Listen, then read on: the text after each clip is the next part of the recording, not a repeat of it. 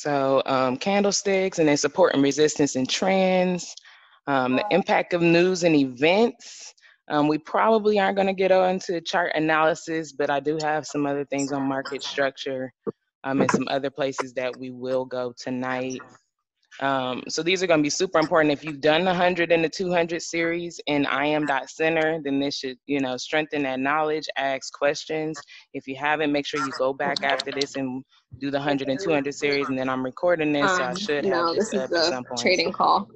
Mm, Please mute yourselves. Oops, sorry. All right.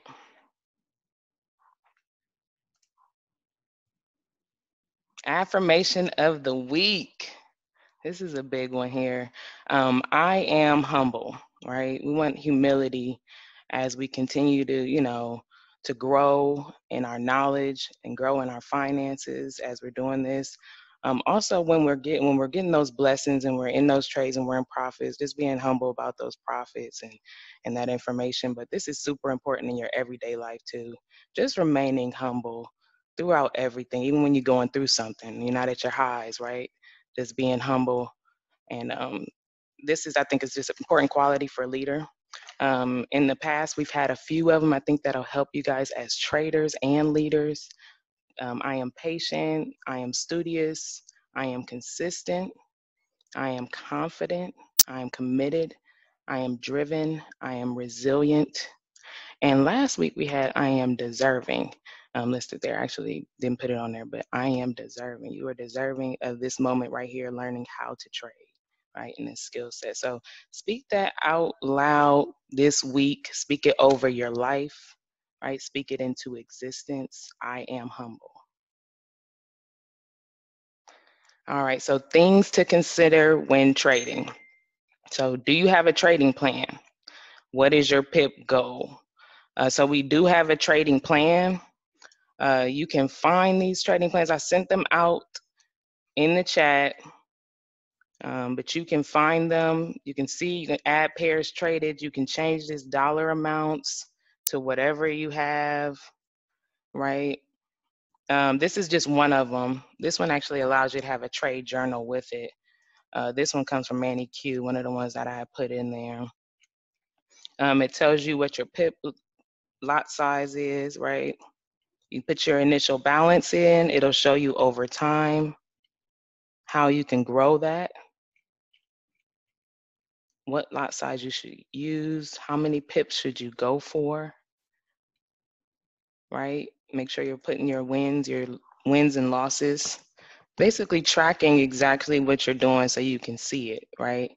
Um, I also sent you guys a way that you can pull this data out of MetaTrader. Um, so definitely utilize that so you can take a look at your trades that you've been placing in your demo or in your live accounts right now. So this is one of them. One of the another one that I think we have. I don't think I have them all up right now. But there's definitely like so many different versions. But use these. This one is the 500 appear. This is withdrawal Wednesday, allows you to withdraw weekly, right? Um, while you're growing your account so you can still have that tangible feeling of profit. Look at these dollar amounts. It's starting with the $500, right? You just have to really be, um, you know, patient with the market use your risk tolerance and and really stick to your pip goals stick to your discipline right? So it'll tell you what pip goals here that you would have at different risks low risk medium risk high risk number of pips i need to go per day right? What's my daily goal if it was a dollar amount? So there's a bunch of these that are out there. I couldn't tell you how many we have but just pick one whatever one you like. Um, some of them have been modified. It's another one here. Different type of journals. And you can always change, these areas are able to be modified, uh, but don't modify the formulas. Okay, so make sure if you're changing it that it says that it can be edited, that field. If you know how to work Excel, then if not, ask, we can help. All right, I just wanted to quickly jump to that because I know a lot of people are usually like, what do you mean a trading plan? It's like weeks in, but uh, we do have them in the Telegram chat, in the files. Um, what trading session are you trading in? So we know it's a 24-5 market. So it opens on Sundays at 5 p.m. Right at 5 p.m. and that's going to be in the Australians Monday at 8 a.m.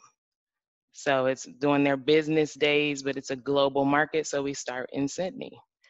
And next one is going to be Tokyo Market starting around 7 p.m. on that Sunday.